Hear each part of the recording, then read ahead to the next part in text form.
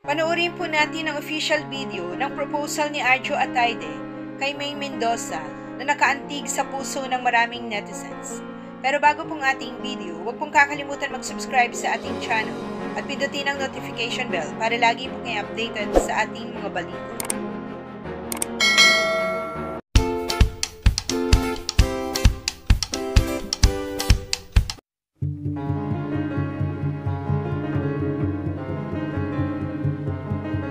Was supposed to propose last time. Nagkaroon lang ng konting problema. Definitely something we really had to consider because it, uh, it involved family. So, na-delay ng konti. And uh, nagtanong ulit, paalam kay tito, tita for the second time. And nabigyan ng pagkakataon. Uh, yeah, to ask her hand marriage.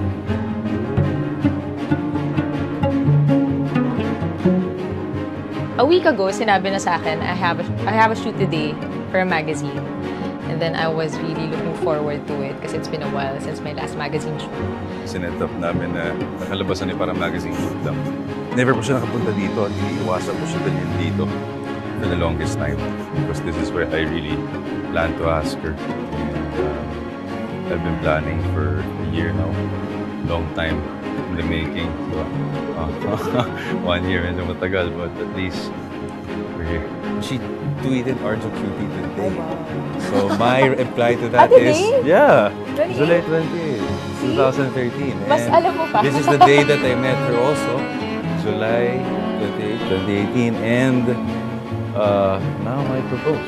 July 28, 2022. Four years later. yeah,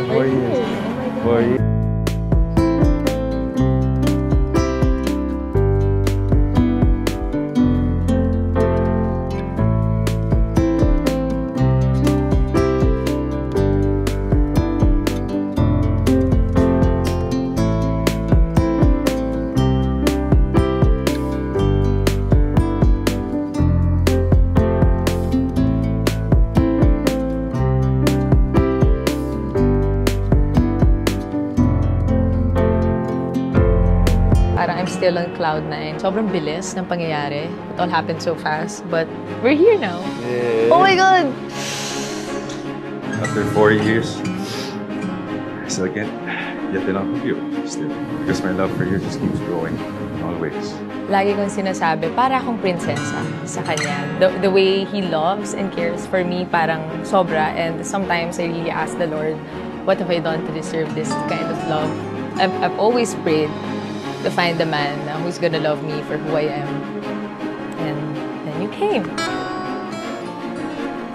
When the relationship started, both our families had taken a lot of punches.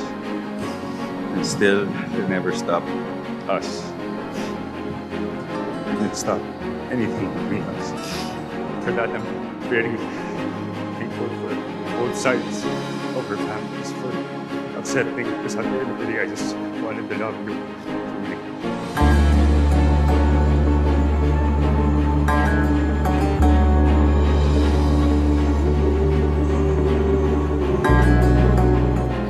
At the point of my life where I don't know loving someone as much as I love you is even possible. It's too much, it's so much. I can't even explain. I've had this for more than a year. I've always been sure of you. Always. Every day.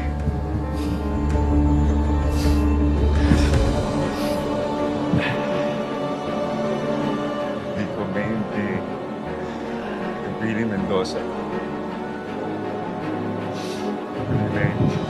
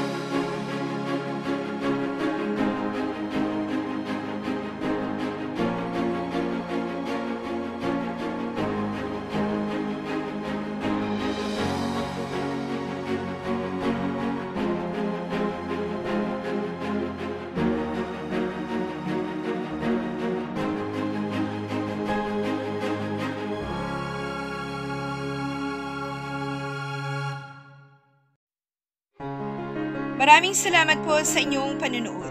Huwag pong kalimutan mag-subscribe para sa iba pang showbiz updates. Kita-kita po tayo sa aking next video. Thank you.